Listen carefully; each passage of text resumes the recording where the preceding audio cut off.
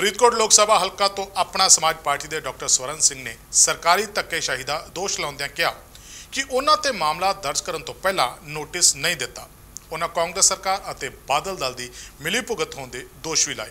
ਮੋਗਾ ਸ਼ਹਿਰ ਵਿੱਚ ਪੱਤਰਕਾਰਾਂ ਦੀ ਬੁਲਾਈ ਪ੍ਰੈਸ ਕਾਨਫਰੰਸ ਨੂੰ ਸੰਬੋਧਨ ਕਰਦਿਆਂ ਆਪਣਾ ਸਮਾਜ ਪਾਰਟੀ ਦੇ ਉਮੀਦਵਾਰ ਡਾਕਟਰ ਸਵਰਨ ਸਿੰਘ ਨੇ ਕਿਹਾ ਕਿ ਪੰਜਾਬ ਪੁਲਿਸ ਵੱਲੋਂ ਉਹਨਾਂ ਵਿਰੁੱਧ ਸਰਕਾਰੀ ਸੰਪਤੀ ਨੂੰ ਵਿਗਾੜਨ ਦਾ ਜੋ ਮੁਕੱਦਮਾ ਦਰਜ ਕੀਤਾ ਗਿਆ ਹੈ ਉਹ ਬਾਦਲ ਦਲ ਅਤੇ ਕਾਂਗਰਸ ਪਾਰਟੀ ਦੀ ਮਿਲੀ ਭੁਗਤ ਹੈ।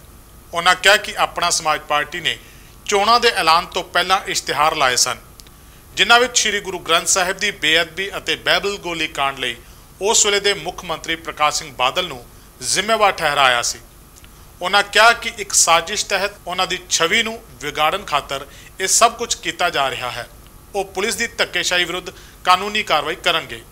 ਅੱਜ ਦੀ ਜਿਹੜੀ ਪ੍ਰੈਸ ਕਾਨਫਰੰਸ ਬੁਲਾਈ ਹੈ, ਉਹ ਇਸ ਵਾਸਤੇ ਕਿ ਮੈਨੂੰ ਟੈਲੀਫੋਨ ਕਾਲਸ ਤੇ ਅਖਬਾਰਾਂ ਤੋਂ ਪਤਾ ਲੱਗਾ ਹੈ ਕਿ ਮੇਰੇ ਖਿਲਾਫ ਥਾਣਾ ਨਿਹਾਲ ਸਿੰਘ ਵਾਲਾ ਦੇ ਵਿੱਚ ਕੇਸ ਦਰਜ ਕੀਤਾ ਗਿਆ ਜਿਸ ਦੇ ਵਿੱਚ ਮੈਨੂੰ ਇਹ ਕਿਹਾ ਗਿਆ ਕਿ ਤੁਸੀਂ ਇਲੈਕਸ਼ਨ ਕੋਡ ਆਫ ਕੰਡਕਟ ਦੀ ਉਲੰਘਣਾ ਕੀਤੀ ਮੈਂ ਇਸ ਦੇ ਬਾਰੇ ਦੱਸਣਾ ਚਾਹੁੰਦਾ ਕਿ ਇਹ ਬਿਲਕੁਲ ਗਲਤ ਹੈ, ਇਹ ਮੈਲਾਫਾਈਡੀ ਹੈ, ਇਹ ਕਾਂਗਰਸ ਗਵਰਨਮੈਂਟ ਨੇ ਜਿਹੜੇ ਮੇਰੇ ਤੋਂ ਜੈਲਸ ਨੇ ਉਹ ਮੈਨੂੰ ਮੈਨੂੰ ਨੀਚਾ ਕਰਨ ਵਾਸਤੇ ਤੇ ਮੈਨੂੰ ਮੇਰਾ ਇਮੇਜ ਜਿਹੜਾ ਹੈ, ਉਹ ਟਾਰਗੇਟ ਕਰਨ ਵਾਸਤੇ ਇਹ ਕੀਤਾ ਗਿਆ।